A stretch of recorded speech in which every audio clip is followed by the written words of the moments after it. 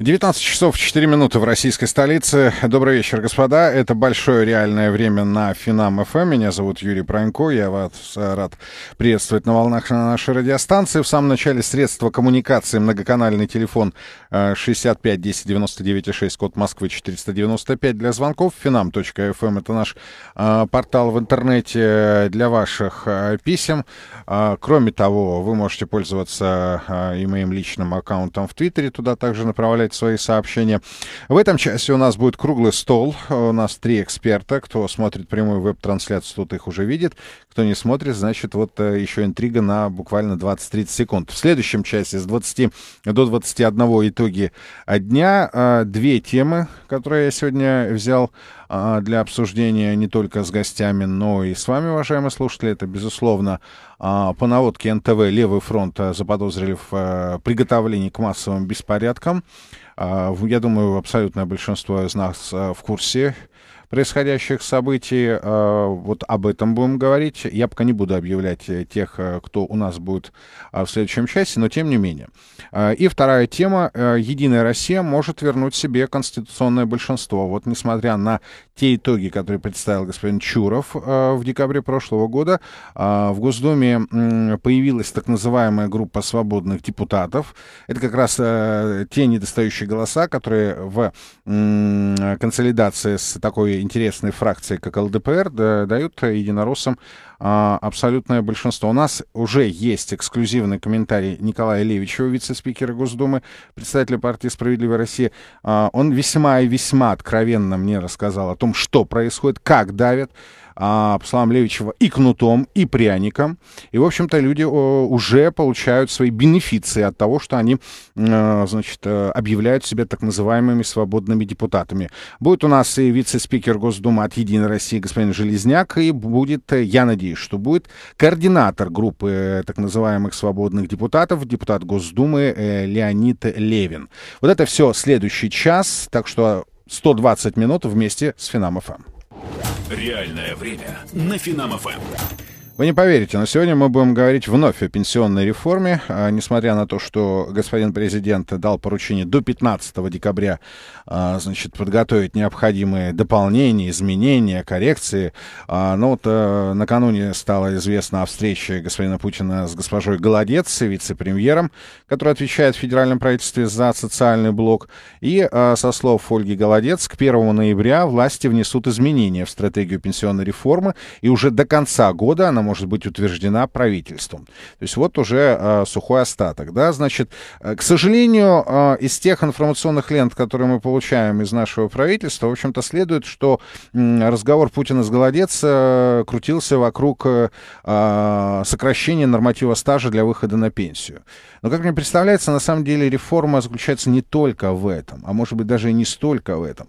Я вам с удовольствием представляю моих гостей. Это Евгений Бушмин, председатель Комитета Совета Федерации России по бюджету, который сегодня доехал вовремя. Рад за видеть. час. За, за час, час да. до начала. Добрый вечер, Евгений. Добрый вечер. Это Михаил Делягин, директор Института проблем глобализации. Рад видеть. Добрый вечер. Добрый вечер. И э, Игорь Николаев, э, партнер, э, директор департамента стратегического анализа компании ФБК. Игорь, рад так, также вас видеть. Добрый вечер. Добрый вечер. Евгений, давайте с вас начнем. Будем идти по часовой стрелке.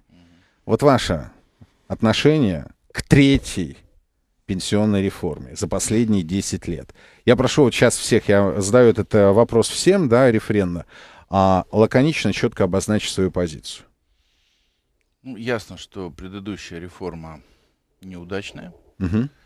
Ясно, что существуют проблемы как технические, так и психологические технически понятно, это дефицит пенсионного фонда, психологически тоже понятно, это накопительная система, ее отношение к ней и э, фактически э, размещение средств накопительной системы в вебе ну, с, не, с не очень большим, до, половины, похоже, мы долго не дойдем, размещением в э, пенсионных фондах негосударственных, ну и других управляющих компаниях. Поэтому, конечно, что-то делать надо, но единственное, что я хочу сказать, что если бы эти реформы, в том числе и третьи, были последовательны, тогда вообще вопросов бы не возникало. Uh-huh. Это необходимо делать. Но мне кажется, что мы немножко э, чуть задергались в этих реформах И, похоже, последняя реформа, третья, она как бы а, отменяет вторую, ну, в той или иной мере, и возвращает нас к, э, на 10 лет назад, uh-huh. что, в общем, не очень хорошо, и доверие к этой реформе, конечно, не повышает. Но это означает, что у чиновников нет такого логического понимания, да, на долгосрочную перспективу. Э, у чиновников, возможно, нет. Мне кажется, что тут главное а, не на чиновников обращать внимание, ну, а, собственно, на тех, кто э, когда-то, ну, может быть, в ближайшее время, может быть, не очень в ближайшее время, пойдет на пенсию. Угу. Я вот несколько раз э, вел беседы на тему пенсионной реформы. Какие-то моменты меня устраивали, с какими-то я спорил. Но вообще я спорю до того момента, когда принято решение. Поэтому сегодня и в ближайшее Господин время... президент сказал же, надо дискутировать. Да, могу себе uh-huh. позволить. Вот. Так вот, э, споря я заметил, что очень много критики э, этой третьей пенсионной реформы идет, а, собственно, от пенсионеров. Как-то я все это посмотрел. Угу. И, э, не от будущих, а от нынешних? От нынешних. Вот. Я не очень понял, зачем пенсионерам вмешиваться в реформу ту, может быть, хотят что-то на собственном опыте, то есть в том смысле, что а вот если бы мы были на 10 лет моложе и вышли бы на пенсию, как бы на нас сыграла эта третья реформа. Не знаю. Мне кажется, все-таки сейчас нужно больше обращать на тех внимание, на кого эта третья реформа может быть распространена, то есть угу. на людей, которые работают сейчас. А, Евгений Бушемин, Михаил Делягин. Э, добрый день. Ну, мне приятно слышать про пенсионеров, потому что, в общем-то, нормальным людям свойственно заботиться не только о себе, но и о других. И приятно, что пенсионеры думают о других, ну или стараются думать. Но я могу сказать про себя очень просто. Я 68-го года рождения, и поэтому я твердо знаю, будет у нас вторая реформа, третья, десятая, пятнадцатая, моему поколению не будет пенсии, на которую можно физически просуществовать. Обнадеживающе. Вот я в этом абсолютно убежден. А обсуждать можно все что угодно меня настораживает суета вокруг этой реформы, как будто вот горит дом, и нужно срочно бежать и что-то куда-то спасать. Uh-huh. Меня э, настораживают заявления специалистов, которые говорят, вы знаете, с нами не проконсультировались при подготовке этой стратегии, это типичное министерское творчество, а, и они начинают высказывать конкретные претензии, узко, узкоспециальные. Ну и как и раньше, у меня смутное ощущение, что реальных ключевых проблем пенсионной системы – из-за которого спадают собираемость, происходит массовое бегство людей в тень. У нас эта реформа не затрагивает. Она чисто механистичная, чисто бухгалтерская. Если у вас в результате вашей замечательной политики сокращаются поступления, вы можете эти поступления делить разными способами, но их все равно не хватит. Потому что вам дают денег меньше. Uh-huh. Потому что сбор средств устроен так, что их будет все меньше. Сбор ЕСН падал на 1% пункт в год, за 2011 год, по данным налоговой службы, сбор подоходного налога, это косвенный индикатор, снизился с 3,7, по-моему, до 3,1% ВВП. То есть происходит не потому, что люди упали доходы, происходит уход людей тень? в тень. Потому что основная часть людей, основная часть людей, угу. налоговая нагрузка на фонд оплаты труда, если говорить советскими терминами, превышает 39%. Для бедного человека это запредельно высоко. В то же время богатый человек может оформиться через это и ЧП 6%, через операции с ценными бумагами, там может до 4%, снизить это не будет налоговым нарушением. Вот. И в результате этого у нас офшорный рай для богатых, на всех остальных запретительно высокое налогообложение, соответственно, снижается собираемость в силу несправедливости системы. Причем здесь нет тупика, здесь есть выход, потому что бизнес согласен платить обязательно. Это инвестиционные консультанты говорят самое разное в самое разное время уже лет 10, бизнес согласен платить обязательные э, социальные взносы с даже высоких зарплат по плоской ставке 15%. Государству это почему-то не интересно. Обсудим это отдельно. Это Михаил Делягин. Игорь. Игорь Николаев. А, у меня не просто негативное отношение. Чуть повыше микрофона, если можно. Да, Спасибо конечно. Большое. У меня не просто негативное отношение. А... Вот это затеи, да? Да. Вот почему я даже замялся, не сказал стратегии, потому что для меня стратегия — это выверенный, непротиворечивый документ. Я таковым его не считаю. А, оно не просто негативное, оно крайне негативное. Почему я сказал, э, даже он должен быть непротиворечивый. Есть вещи, которые, на мой взгляд, принять невозможно. Но посмотрите, он даже внутренне противоречив. Нам говорят, э, никто не э, хоронит обязательную накопительную компоненту. мы же понимаем, что это лукавство. Да, обязательно накопительная компонента сокращается с 6 до 2%, потом право выбора и так далее. Нам говорят, что не хоронят. Одновременно в этом же документе говорится, что пенсионная система должна быть трехуровневая. Это трудовая государственная пенсия, это корпоративная и это накопительная, ну это частные накопления. Да, да, да. Скажите, где тогда здесь накопительный, тот самый обязательный накопительный элемент, который вы не, не собираетесь хоронить? Вы хороните его, так и скажите. А на самом деле это ключевой элемент этой реформы. Мы его хороним. А ведь что такое накопительный элемент? Ну, мы хотели увязать да, будущие пенсии а, с тем, как человек работает, как долго и как много он получает, сколько он накапливает, чтобы появилась вот эта взаимосвязь, которой не было и нету в распределительной системе, вот в этой котловой системе. Угу. В других странах, даже в странах СНГ, укрепляют этот на, э, накопительный элемент. В Казахстане 10%. Мы его э, снижаем сначала до 2%, но ведь это даже это не снижает, не уменьш... да, уменьшает, но не решает проблему дефицитности. Нам приводят аргументы, вы посмотрите, мы о вас заботимся. Страховая трудовая с 2004 по 2011 год проиндексирована была на 337%, а вот смотрите, государственная управляющая компания наработала только 149% а инфляция у нас была 200 с лишним, как плохо работала накопительная компонента, на это я должен сказать, если вы сравниваете два показателя, сколько, э, при, насколько прирастали да, э, накопления и инфляция, то вообще-то надо обращать внимание и на инфляцию. У меня тогда вопрос, а почему такая высокая инфляция была? Это ответственность властей. Поэтому да, угу. негативное отношение, как я сказал, противоречивый документ – и э, жалко, что выхолачиваются такие сущностные вещи. Игорь Николаев, краткий выпуск новостей, а затем продолжим реальное время. 19 часов 19 минут. Реальное время. Очень сложная, но крайне важная тема. Третья, так называемая третья пенсионная реформа. Здесь Евгений Бушмин, Михаил Делягин и Игорь Николаев. Господа, у нас на самом деле не так много времени. Я э, вообще отношусь к заявлению, которое особенно первоначально делал Минтруд, да, в части накопительной части, как к воровству.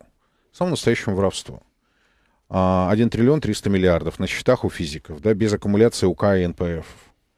Но потом они поправились, да, поправились, хотя я на самом деле не знаю, что в итоге будет э, Путину положено на стол, и с чем согласиться а, господин президент. Евгений, а вот на ваш взгляд, из этой ситуации какой выход-то?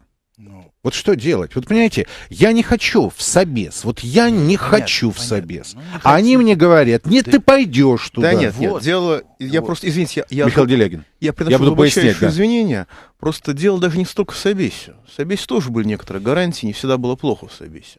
Фишка в следующем. А в другой стране, в другой системе. Фишка в следующем, да и в нашей стране, в нашей системе, что как если будет возврат к старой пенсионной системе, распределительной, только распределительной, угу. то следующий этап, вам каждый год будут менять так называемую пенсионную формулу. Вам каждый год, или почти каждый год, по неволе, потому что сокращаются ресурсы, будут менять, как у вас учитывается стаж и как у вас учитывается ваша средняя заработная плата. И вы каждый год будете получать новую пенсию. И что-то мне внутренне подсказывает, что вряд ли реальная стоимость на выражение этой пенсии будет расти. Просто по логике событий. Извините, ради бога. Да ничего, ничего. Это Михаил Пожалуйста. Делягин, Евгений Бушмин. Ну, давайте начнем с того, что я уже говорил, что я выступал против накопительной части.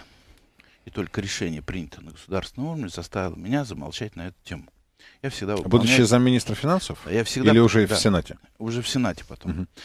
Собственно, это как раз переход был. Вот. Э, если сейчас мы обсуждаем, значит, есть такая возможность. Еще раз говорю, я против накопительной части против. Я считаю, что вот, вот это вот государственные шутки с э, коммерческими компаниями, которые там что-то чем-то управляют, угу. это вообще неправильное дело. Не дело государства заниматься бизнесом. Понимаете, не надо э, эти деньги собирать и кому-то там раздавать. Не дело государства заниматься бизнесом, я с этим соглашусь. Так вот, э, так я вот отдайте же. бизнесу, чтобы он этим вот, вопросом вот, занимался. Вот вы возьмите свои денежки, вложите их в негосударственный пенсионный фонд. Сделал и уже давным-давно. Вот и молодец. Да? Все остальные, кто захочет, тоже сделают. Зачем это делать через государство? Я этого не могу понять. И сейчас, поэтому я считаю, что это была совершена ошибка. Эта ошибка в той или иной мере исправляется. Жалко, что она может быть исправлена не до конца. Потому что я считаю, что накопительная система, надо эти деньги отдать. Собирали, отдать людям, пусть они решают с ними так же, как вы со своими собственными деньгами, со своими пенсионными накоплениями, пусть они также решают с этими деньгами. Мгм. А вот все остальное, если человек захочет на- накопительную систему, он сам туда пойдет. Вот, не, надо, Не захочет. Не надо И государство не может обеспечить достойное обеспе- э, пенсионное обеспечение Подождите, подождите, это разные вещи говорить. Мы первое начали с накопительной системы. Вот накопительная система это добровольная вещь. Человек хочет идет, не хочет не идет. А когда Что государство его голодец туда лезет тогда? А когда государство заставляет, это уже не накопительная система, я уже не знаю, что это такое. Вот это во-первых. Теперь во-вторых. Значит, конечно, распределительная система там плохо, хороша, это э, можно долго и упорно обсуждать, но на самом деле другого, другой альтернативы сейчас просто нет. Вот еще раз говорю, заставить государство собирать какие-то деньги, а потом каким-то образом кому-то давать, даже уважаемому и любимому мной вебу, это вообще не дело. Это вообще неправильно. Вот. Теперь, что касается того, что э, каждый год будут менять. Трудно сказать, как они каждый год будут это все менять. Я думаю, что менять будут исходя из тех средств, которые есть у государства. Если у государства есть средства, значит, будет нормальная и благополучная пенсия. А в момент кризиса все страны Европы так или иначе пошли на какие-то э, сокращения социальных э, гарантий, социальных выплат. Мы, в общем, старались это дело не делать, этого дел- не делать. Но, конечно, все это произошло только за счет нефтяных денег. И мы это хорошо понимаем. То есть фактически можно сказать, будут у нас нефтяные деньги, будут у нас хорошие пенсии. Не будет у нас нефтяных денег, у нас хорошие Так это пенсии не безответственная будет. позиция, Евгений. Это не безответственная позиция. Это, безответственная позиция. позиция. Это позиция, Потому что мне когда через мы 20 все- лет, вот как и Делягину, выходить на пенсию, да? Когда мы все отвечаем И что мы с ним будем не делать? выходить, вы будете работать. друг По за всей друга, видимости. и мы Пока будем не умрете. отвечать друг за друга. А теперь кто хочет, чтобы у него была достойная пенсия, и он будет дополнительно откладывать деньги э, на свою пенсию, так называемую накопительную систему, то есть добровольная накопительная система. Вот. Они, конечно, получат больше, тем, кто, чем те, кто не откладывал. Но на самом деле я не думаю, что э, в, в нынешней системе вот такого вот мирового финансового рынка мы все-таки сможем а, на рынках э, добиться хотя бы э, уровня инфляции, который есть в Российской Федерации. Евгений Бушмин, я очень хочу, чтобы Игорь Николаев поопонировал. А, ну да, я могу здесь поопонировать. Почему во всем мире, практически, ну, в развитых странах существует, э, существует обязательная а, накопительная компонента? Ну, точно по таким же причинам. А почему существует обязательное страхование, некоторые виды?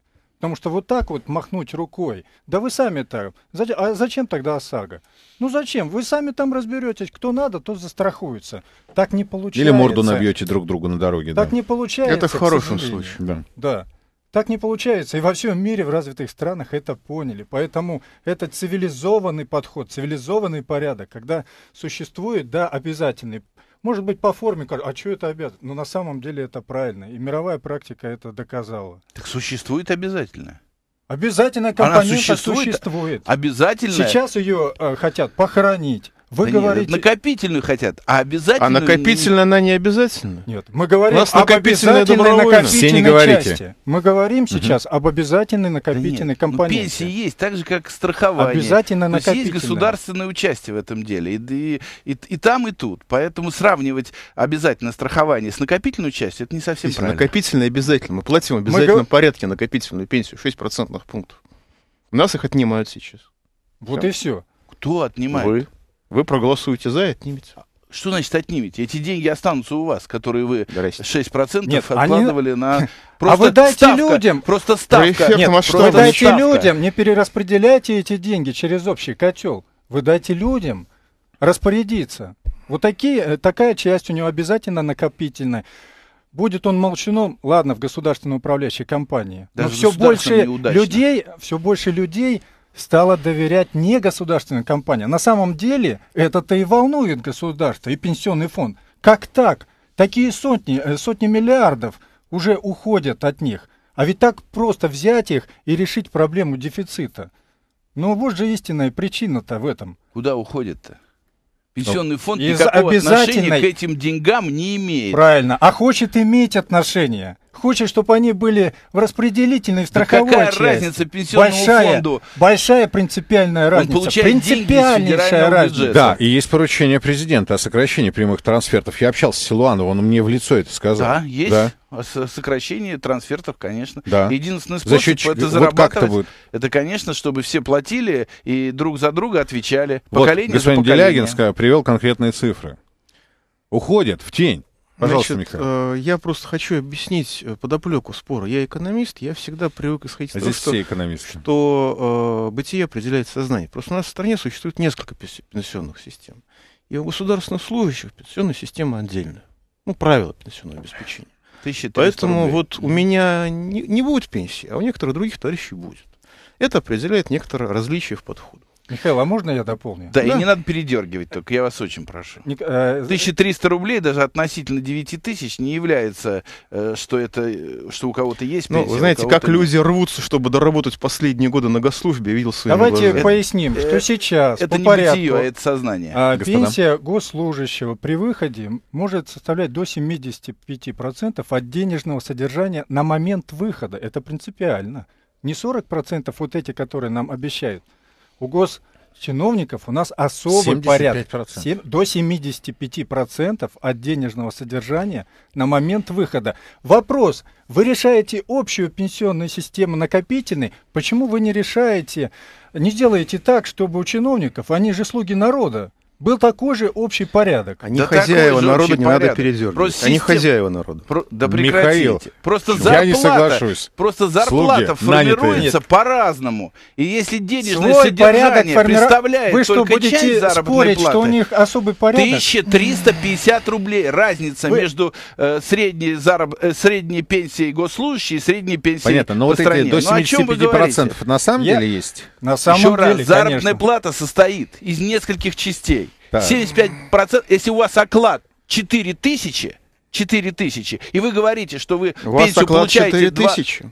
Да, конечно. Михаил Делягин. Оклад У 4 вас оклад 4 тысячи У рублей. государственного служащего оклад от Да. 4 до 6 тысяч. Да ничего Меньше, меньше минимального размера оплаты труда. Да, меньше, конечно. Да Меньше ничего прожиточного подобного. минимума. Да, конечно. Да ничего Указ подобного. Отлично. откройте. У- Откройте указ Вот о это, отлично. служащих это и хорошо. посмотрите. Во-первых, от денежного содержания, Евгений, от- вопрос на а не от понимание. оклада. Конечно. Э, 75% Конечно, от денежного содержания. денежного плюс содержания. еще, плюс еще премии, плюс еще, плюс. О, и это видите, ничего, как не вот? считается в пенсиях. Ну, слушайте, ну это совсем не, не профессионально. Михаил, вы, ну, э, посмотрите, хотите как формируется. с вами, Подождите, господа. Да нет, нет, нет. Здесь все, Ну в что принципе, вы. все уже было сказано. У нас э, слуги народа самые нищие, самые бедные люди. Поэтому Они умирают от голода на своих рабочих местах.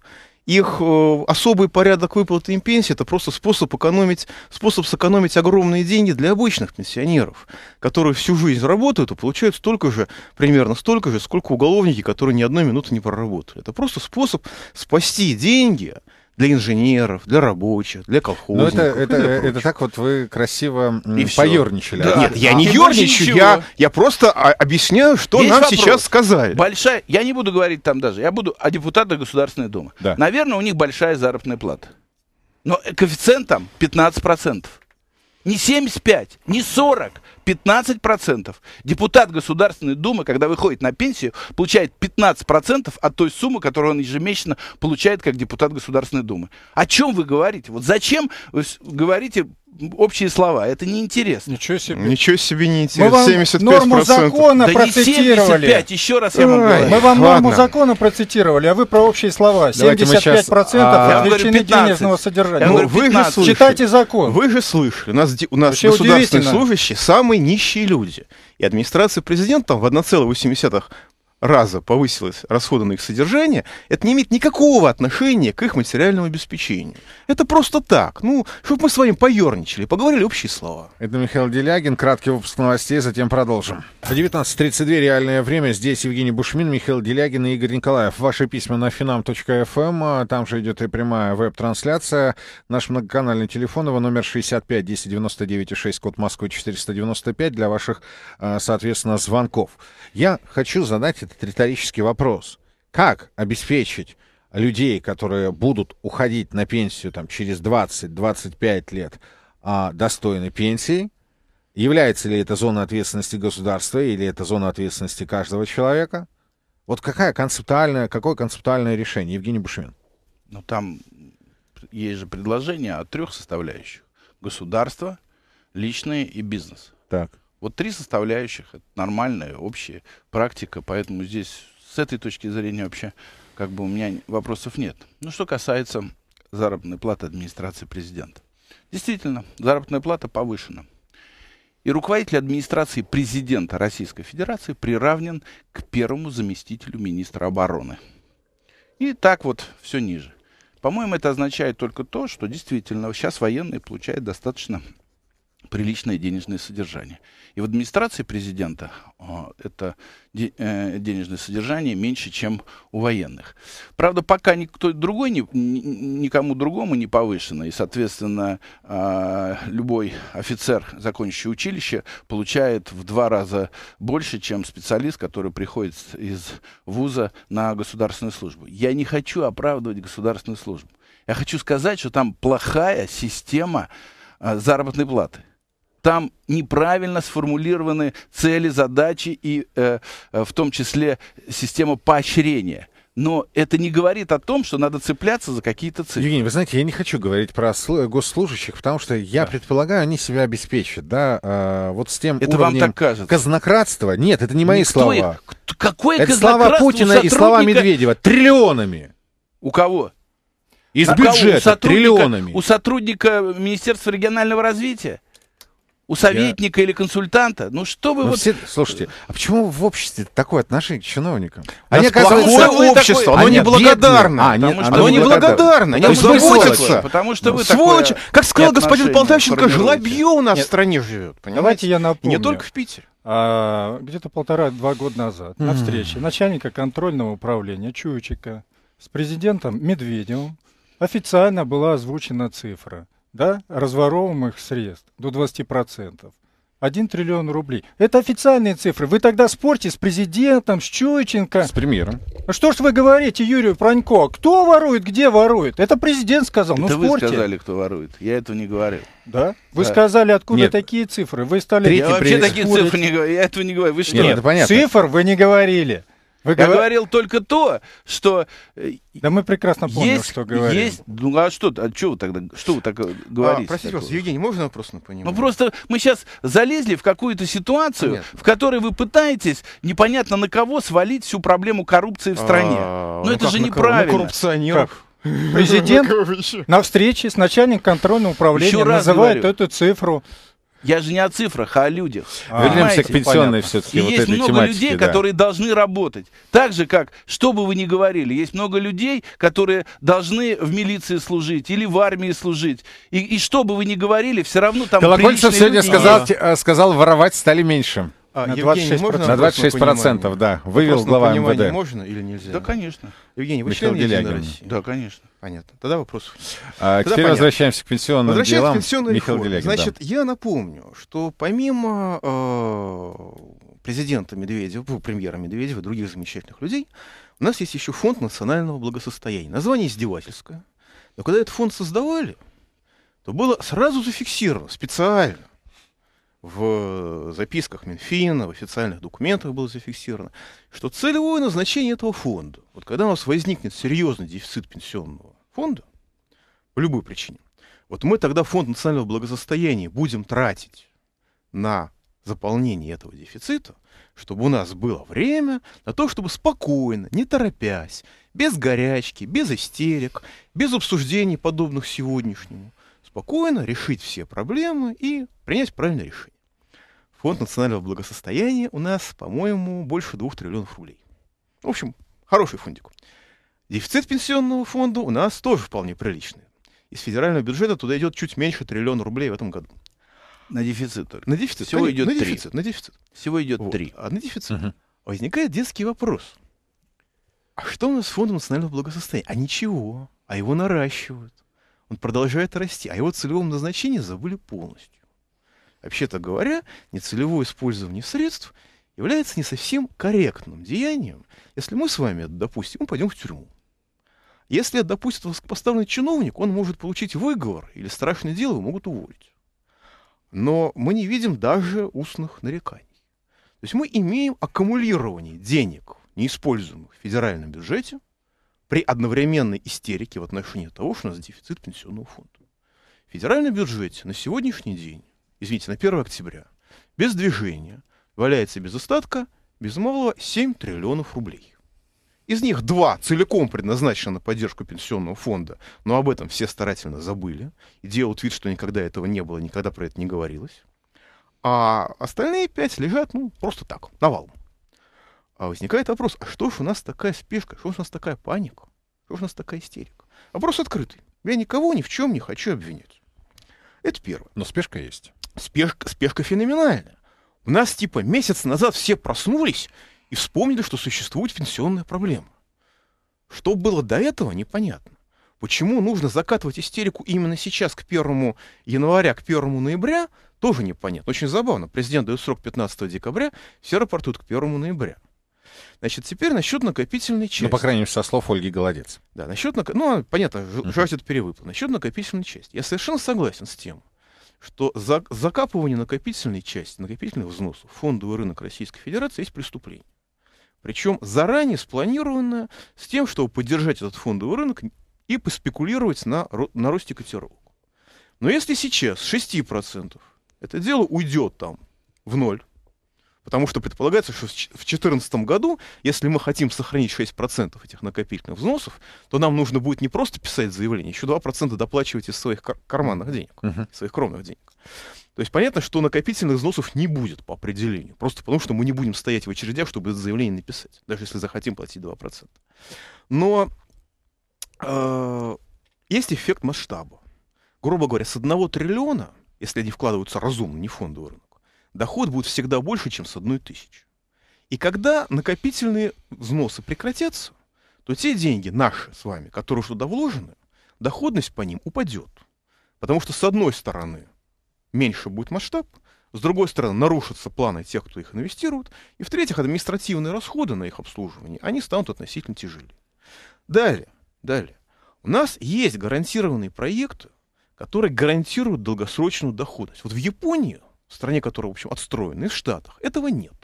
А у нас в силу разрушенности страны есть. Конечно, модернизация жилищно-коммунального хозяйства в крупных городах и в обеспеченных средних городах это проект с гарантированной долгосрочной доходностью. При всем воровстве, угу. коррупции, идиотизме и всем остальном. Но почему-то мысли о том, чтобы направлять деньги туда, нет. Была идея направить деньги на строительство дорог, то есть в проект, который гарантированно не окупится. И мы гарантированно останемся без денег. Есть реальность, что вкладывают в русскую рулетку на фондовый рынок, а вот в гарантированные проекты с доходностью туда не вкладывают. Потому ну, что кстати, это неинтересно. Владимир Путин э, недели, неделю или две недели тому назад, когда была э, большая встреча, он вновь напомнил Силуанову о том, что накопительная часть должна идти в дороги. Знаете, если президент напоминает, а не отдает поручение, ну, любой чиновник знает, что, что, что нужно обязательно сделать, а что можно просто послушать. То есть можно публично под камерой сказать «да-да». Да, да, и... конечно, товарищ начальник. Вот. И вообще, глядя на эту пенсионную реформу, у меня возникает ощущение, что в отношении Дальцова и других возбуждают дело просто из чувства нездоровой ревности. Вообще это недобросовестная конкуренция. Потому что органи- государство, по крайней мере, какие-то части государства, организуют социальную революцию, и ему не нужны никакая посторонняя самодеятельность. Ну, посмотрите, бюджетная реформа, реформа пенсионная, рост тарифов. И все это методично бьет и методично разрывает людей. Сейчас еще будет а, межнациональная, реформа межнациональных отношений, сейчас еще будет вот такая. Миграционная политика у нас чудесная. Я прошу извинения, что я отклоняюсь. Но в целом ощущение, что э, социальные потрясения, социальную дезорганизацию общества готовит государство. Это Михаил Делягин. Игорь, с чем согласны, с чем нет? А... Игорь Николаев. Я скорее, в общем, все-таки отвечаю э, вопрос, а что же делать-то тогда, да? А для начала вообще-то надо задаться э, вопросом. Ну, Михаил об этом говорил. А, а, а что вдруг проблема-то так остро встала? Действительно, 10 лет мы существовали, и вдруг ну, настолько обострилась, она действительно острая. Один триллион из э, федерального бюджета. И по нарастающей. Да.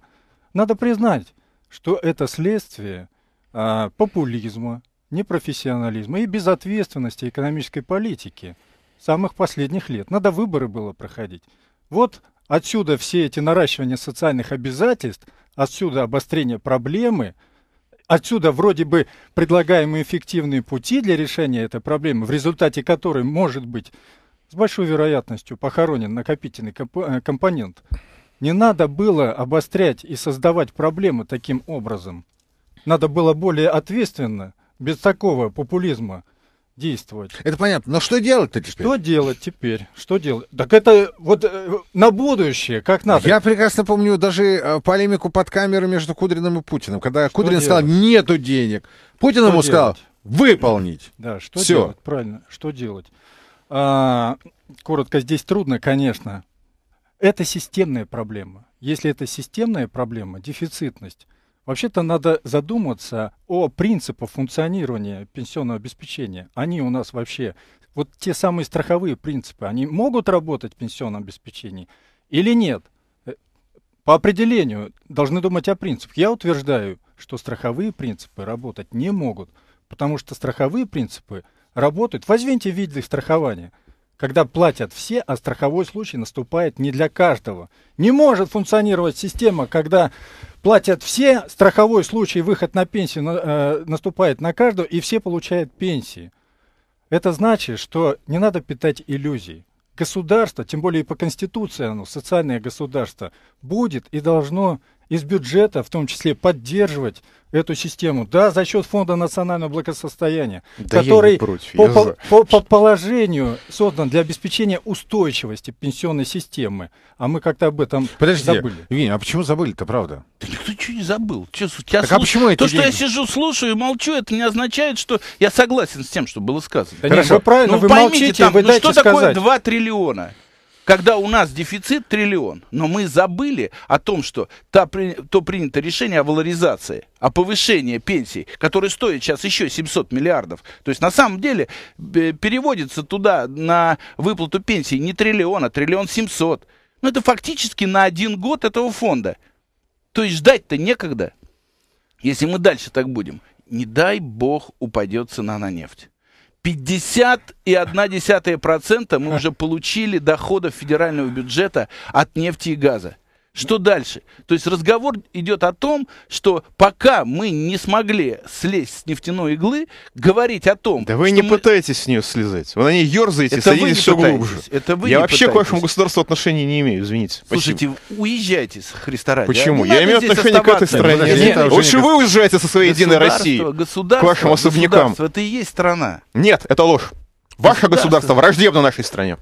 Не, вот вообще так. не дождетесь, чтобы мы уехали. А, подождите, господа, давайте остынем сейчас краткий выпуск новостей, затем продолжим. 19.47. Здесь Евгений Бушмин, Михаил Делягин и Игорь Николаев. Реальное время Финам ФМ. Ваши звонки на 65 10 99 6, код Москвы 495, финам.фм.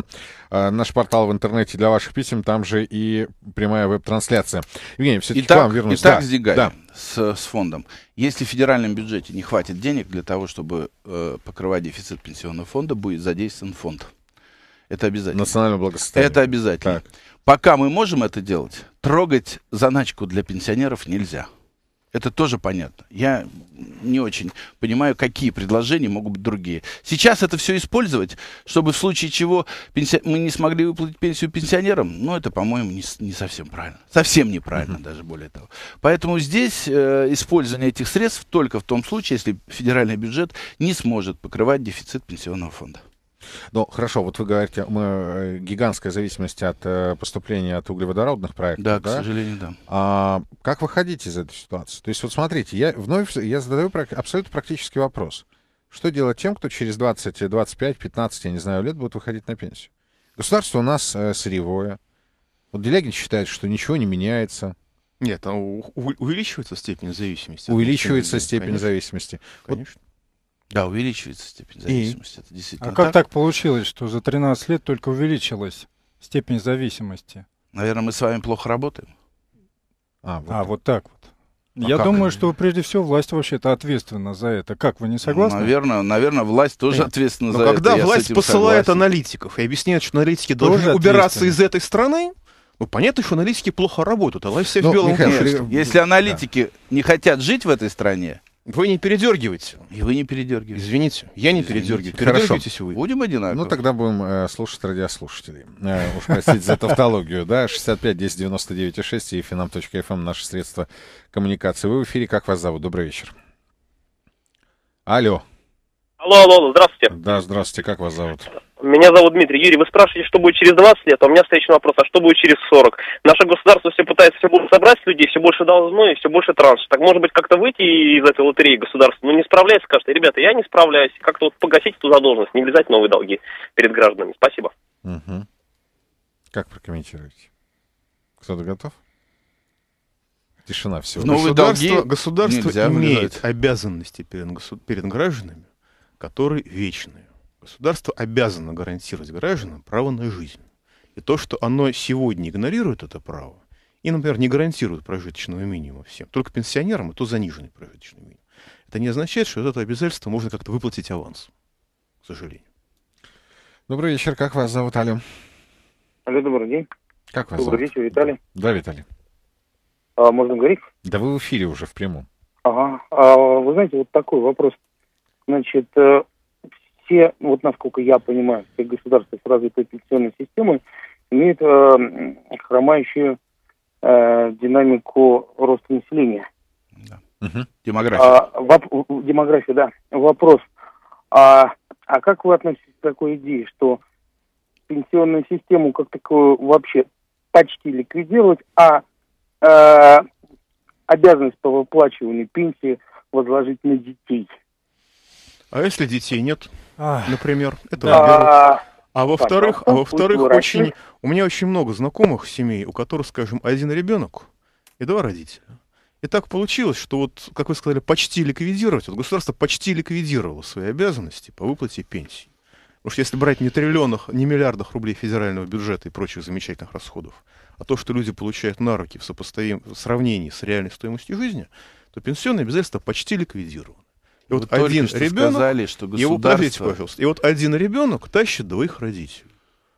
И как ему тащить? Они ему хребет ломают. Это трагедии, которые продолжаются в нашей стране уже лет 20. Это На Михаил Делягин, шагу. Евгений Бушин. Еще раз, только что сказано, что единственный, кому что-то гарантируется, это пенсионеры. По крайней мере, 1,6 уровня э, необходимого для того, ну, самого низкого, но прожиточного уровня То пенсионера. есть они получают в 1,6 раза больше прожиточного минимума. Да, правильно? конечно.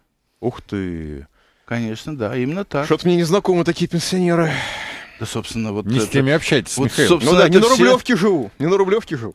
Ну, это- Игорь. Да, я по детям. Вы знаете, ну, э, такие идеи, конечно, были. Еще любят приводить в пример э, Китай. Но на самом деле в Китае не так, э, что не существует пенсионной системы. В городах Время- существует. Суть, э, Да, вот я...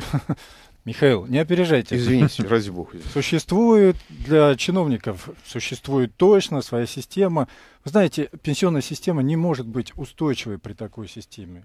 В том числе по причинам, о которых говорил Михаил Делягин. Поэтому это удел таких, ну, совсем уж слаборазвитых стран, что вот отказываемся, а вот там как получится.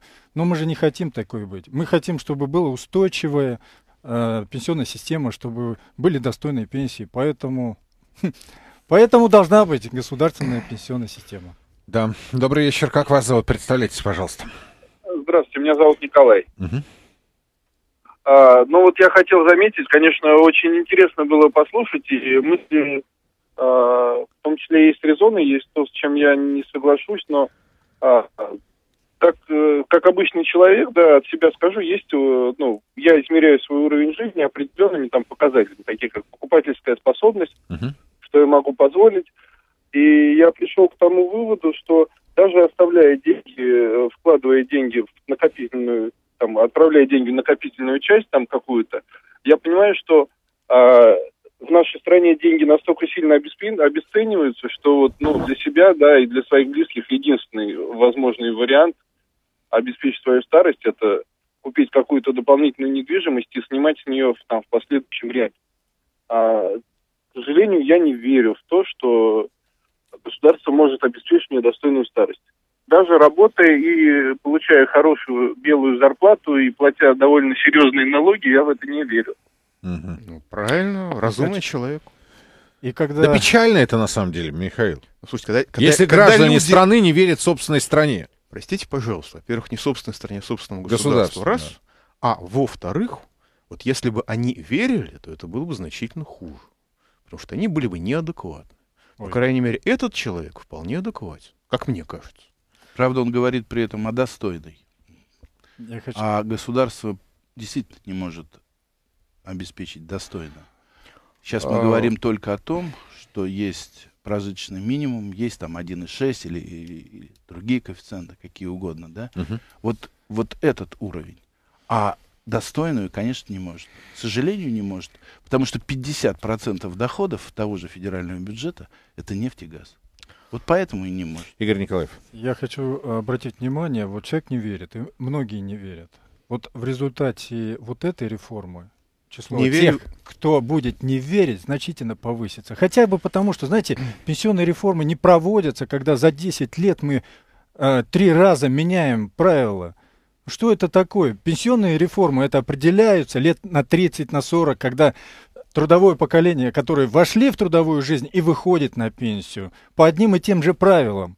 А когда за 10 лет, при одной власти, кстати, здесь нету оправданий, что власти-то меняли. Слушайте, Одна правда, власть была. Вы три раза меняете правила игры. Да кто так делает? Тут по определению не может быть, знаете, доверия. А если не будет у людей доверия, ну, На самом деле это страшно, господа, о чем мы говорим. Отсутствие доверия граждан к собственному государству. Вот я предлагаю всем осмыслить вообще этот тезис. Ну, значит, оно не собственное, значит, оно чужое, если не отсутствует доверие. Я просто хочу сказать еще одну важную вещь. Здесь было сказано ключевая, вещь, что государство не может обеспечить. Это абсолютно правильно. Проблема не в том, что оно может и чего оно не может. Да, выше головы не прыгнешь. Проблема в том, что оно пытается сделать и чего оно сделать не пытается. Простая вещь. Пенсионные фонды, пенсионные взносы, извиняюсь, обязательные социальные взносы, собирает пенсионный фонд, который для этого, строго говоря, не приспособлен и который от этого уже давно отвык. Нас прекрасно собирали все эти обязательные социальные взносы в рамках единого социального налога, собирала налоговая служба с вот такими зубами, с отличными механизмами администрирования, ну, по нашим меркам отличными. Зачем отдавать обратно фонды, которые забыли, как это делается? Значит, государству не нужна эффективность хотя бы в сборе этих средств. Дальше. Несколько лет назад у нас сел фонд обязательного медицинского страхования. Весь. От председателя до помощника бухгалтера. Один человек получил условный срок. То есть там были такие злоупотребления, что даже на фоне отсутствующей России коррупции, как говорят одни, или триллиона рублей, уходящих налево, как говорил президент Медведев, даже на этом фоне это было нечто феерическое. После этого значимых, видимых изменений в контроле за деятельностью внебюджетных фондов медицинского страхования, пенсионного и социальной защиты не проявилось. То есть, коллеги, мы обнаружили воровство, его наказали, как положено, запустили других людей, и пусть все будет по-прежнему. Правильно? То есть это юридические доказательства того, что эффективность пенсионной системы хотя бы на уровне сбора средств и минимального контроля за их рас- расходованием государству, как таковому, не присутствующему здесь сенатору, а государству, как таковому, как совокупному, не нужна на уровне поступков. Понимаете? Евгений. Не, ну, конечно, проблема существует. Опять-таки, принято решение, а, но в данном случае до этого принятого решения мы много говорили, что отобрать у людей, которые умеют и привыкли это делать, и передать тем, кто не привык и не умеет. Единственное, там были аргументы, что они раньше собирали, там еще до 2000 года. Ну, не совсем правильные аргументы. Я бы, конечно, и эту ошибку стал исправлять, так же, как накопительной системой, и вообще в одни руки отдал сбор этих средств, в том числе, я имею в виду, в налоговую службу.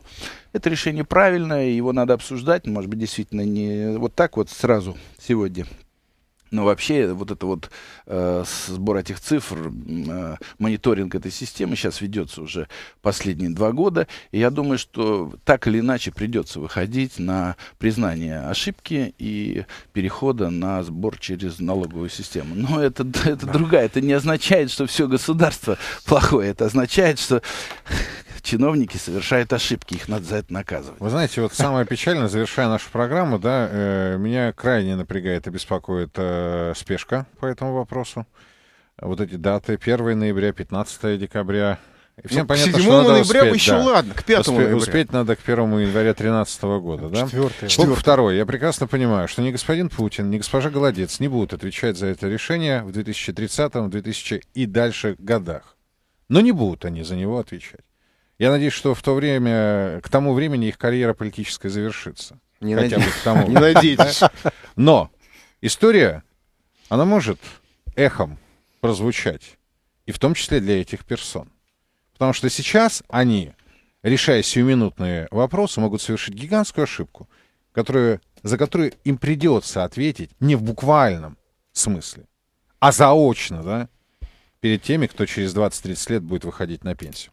Я надеюсь, что господина президента хватит э, ума и здравомыслия не форсировать, э, как это предлагают вот эти все чиновники, да, а действительно произвести мозговой штурм, пригласить разных представителей экспертного сообщества и обсудить предметно, по-взрослому, как выходить из этой ситуации. Для мозгового штурма нужен мозг. Все. Хотя бы один. Евгений Бушмин, Михаил Делягин, Игорь Николаев. Реальное время. Финам ФМ после новостей. Итоги